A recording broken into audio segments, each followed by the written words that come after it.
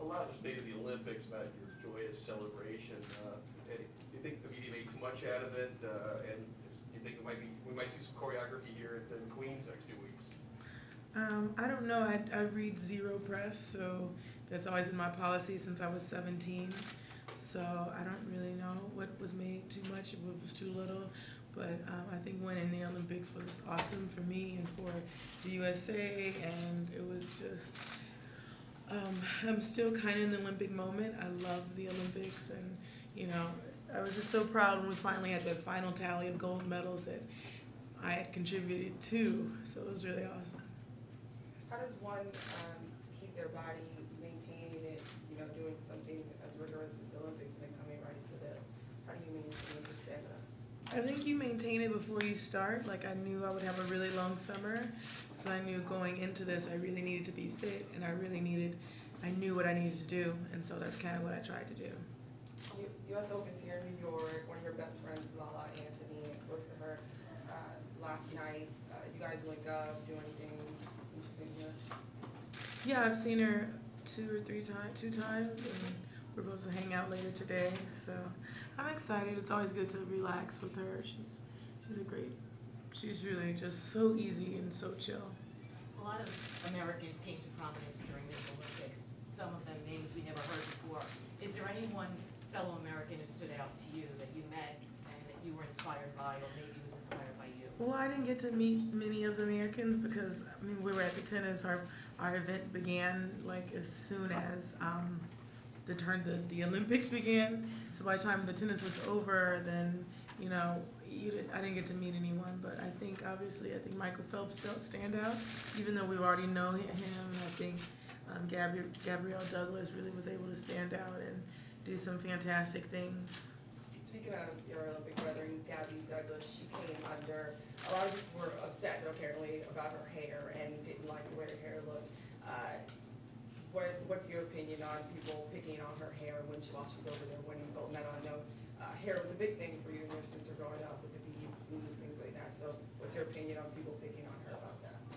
Um, I don't know about that too much. I got asked that question though, and I think um, I have no comment. I think her hair is great, and I think you know, at the end of the day, it isn't about that. It's about how you flip and what a great athlete you are and what you've achieved and everything that you've become, and that's what she's been able to do to achieve so much and keep an amazing, beautiful smile on her face. The youngest player in the tournament, Victoria Duval, said that if she played someone like you, uh, she would ask for your autograph after the match. When you made your U.S. Open debut 14 years ago, was there anyone whose autograph you wanted uh, that was on tour at the time? Um, yeah, I just always, I've always looked up to Pete Sampras when I was younger, and I think he was retiring that year, my rookie year. So um, I wanted to meet him, and I always loved Monica Seles, and so I think those are two people that I really looked up for. to. You're pretty much the- one to be here for most of the field. How much do you enjoy or not thi- this position? Um, you gotta embrace it, you, whether you're the, the favorite or the most to beat, or um, whether you are not. And I embrace it. You know, in Wimbledon, I wasn't a favorite, and I embraced that. So hopefully, I can propel and do my best here. Serena, coming out of Cincinnati, you talked a little bit out of, uh, about, you know, the long summer and a little bit tired, so I'm wondering, you feel like you got the rest you needed in the last few days? What, what are you doing to sort of, to recharge? Well, I definitely got. A, I took a couple days off after Cincinnati, and I think that helped me to like get myself together mentally and get ready for the U.S. Open, um, the biggest tournament in the United States. So um, I also think that, or what did I do? I just kind of came to New York really early and relaxed and karaokeed, and that was about it. Going back to the first question that was asked, you of all people uh, know that the crip walk is not just a, a dance. So I was wondering, do you have any regrets doing it um, in front of everyone? Um, first of all, it's just a dance. I didn't know that's what it was called. And second, like, why are you asking me that? Like, that's so.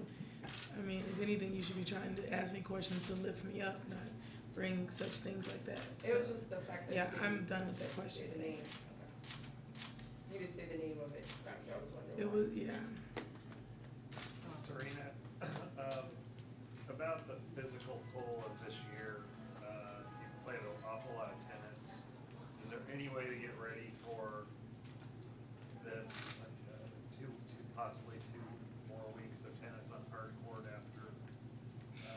I look forward to it. I feel like I haven't played hardcore tennis this year. Like I played Miami, and then I was into clay.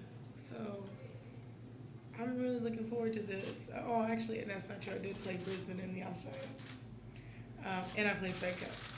Okay, but anyway, it feels like it wasn't like a normal hardcore season for me because usually I go deeper in Australia and or I'll do a little bit more somewhere else. So I'm excited about this to be on hardcourt. It's my favorite surface, and you know I have opportunity to play on hardcourt until um, March.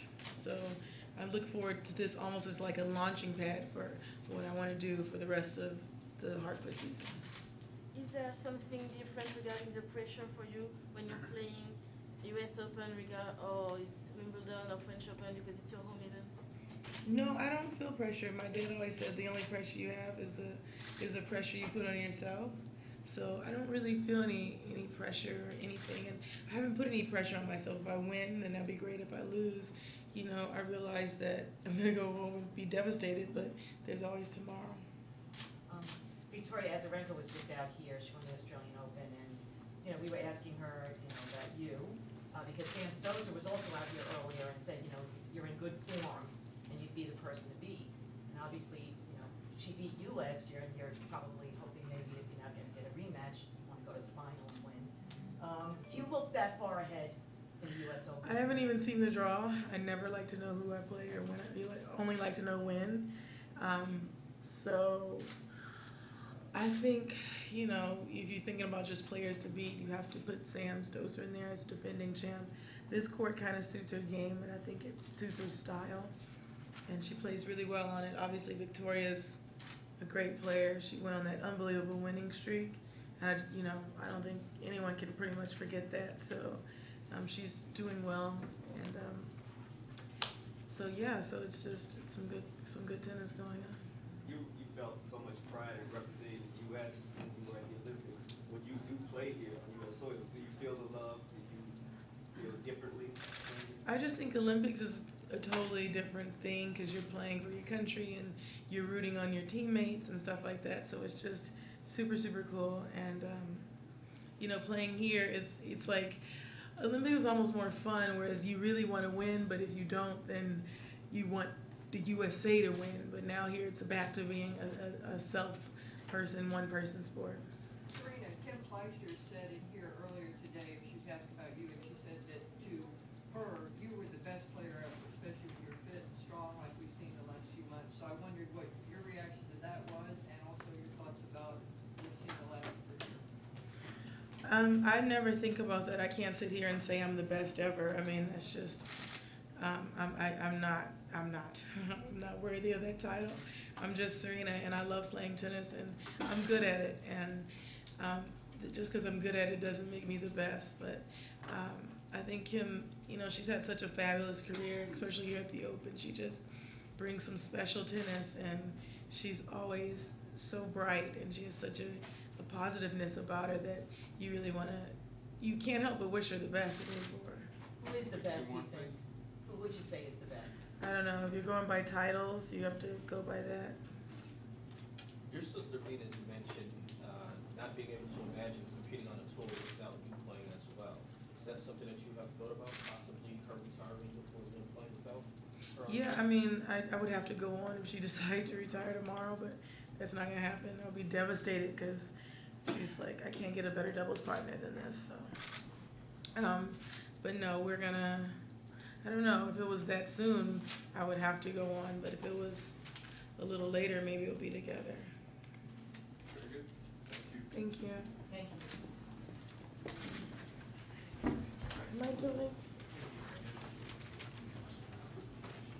How's it going on in the